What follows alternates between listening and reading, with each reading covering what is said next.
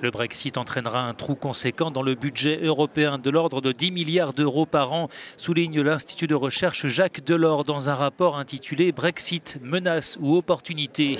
Pour combler ce déficit, les États membres pourraient décider d'augmenter leur contribution ou de réduire les dépenses, voire de combiner ces deux options.